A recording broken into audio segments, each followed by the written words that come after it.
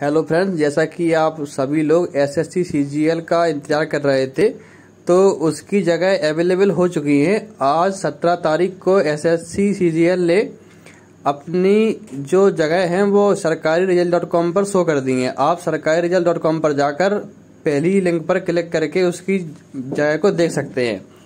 तो हमने लिंक पर क्लिक कर दिया और हमारे सामने पेज खुल के आ गया है। और जैसे ही ये पेज खुल के आता है, सबसे पहली गुड न्यूज़ तो ये है कि इस बार एस एस सी सीजीएन ने बीस हज़ार जगहों पर नियुक्ति की है। जी हाँ बीस हज़ार जगहों पर। Name of post S S C combination graduate level S S C CGL online form 2022 और ये पोस्ट आपको 17 सितंबर 2022 नौ बजकर तेरह मिनट पर अपडेट कर दी गई थी। और जैसा कि मैंने बताया, बीस हज़ार पदों पर नियुक्त नियुक्ति निकाली गई है। और हम नीचे चलते हैं। आप यहाँ देख रहे होंगे application fees general OBC EWS वालों के लिए मात्र सौ रुपये फ़ीस रखी गई है।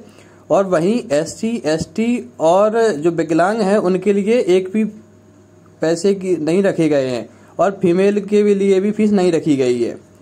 और आगे यहाँ इस साइड आपको दिख रहा होगा इम्पोर्टेंट डेट्स यहाँ एप्लीकेशन स्टार्ट हो चुके हैं और लास्ट डेट आठ दस दो हज़ार बाईस है। और जैसा कि पता ही है कि इस बार बहुत सारी जगह निकली हैं और आपको ये जानकारी मैं और दे देता हूँ, इस बार एसएससी सीजीएल ने 35 पदों पर नियुक्तियाँ निकाली हैं।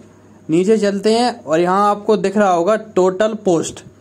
टोटल पोस्ट पर बीस हज़ार पोस्ट हैं और पैंतीस पदों पर नियुक्तियाँ निकाली गई हैं, जिस पर आप कोई भी चुन सकते हैं। और एलिजिबिलिटी में आपको किसी भी यूनिवर्सिटी से ग्रेजुएशन होना अनिवार्य है।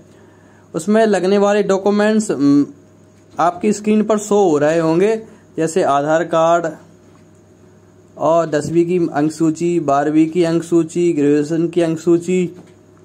और आपके पास एक पासपोर्ट साइज़ फ़ोटो होना चाहिए और फ़ोटो कम से कम तीन महीने से पुरानी, अधिक नहीं होनी चाहिए। और उस पर आपका नाम एवं डेट भी तीन महीने से पुरानी नहीं होनी चाहिए। यहाँ सभी पद आपको दिख रहे होंगे और उनके सामने मेंट्स भी दिख रहे होंगे कि उसमें क्या क्या लगना है। और आप पूरी जानकारी सरकारी डॉट कॉम पर जाकर देख सकते हैं। अगर आपको कोई समस्या आती है तो आप हमें हमसे कॉन्टैक्ट कर सकते हैं।